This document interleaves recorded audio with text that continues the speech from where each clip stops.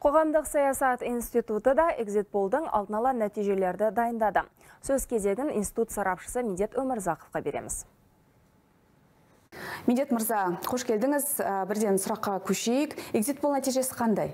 қайырлы түн 6 қазан республикалық референдум күні қоғамдық саясат институты барлық өңірлерде экзитпол өткізді сауалнама барысында 600-ден астам интервьюлер мен супервайзерлер жұмыс атқарды экзитпулға 44 160 азамат қатысты.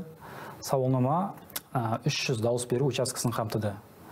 Сауалнама нәтижесіне келер болсақ қатысушылардың 72-де 3 пайызы қазақстанда атом электростанциясының құрылысына келісемін деп дауыс берген. ал қарама қарсы пікірді 27-те 7 пайыз білдірген.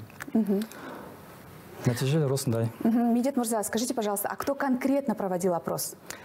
Опрос на выходе с участков проводили профессиональные интервьюеры, обученные по методике ExitPool. Напомним, что 6 октября, день республиканского референдума, Институт общественной политики провел экзитпул, охватив все регионы страны.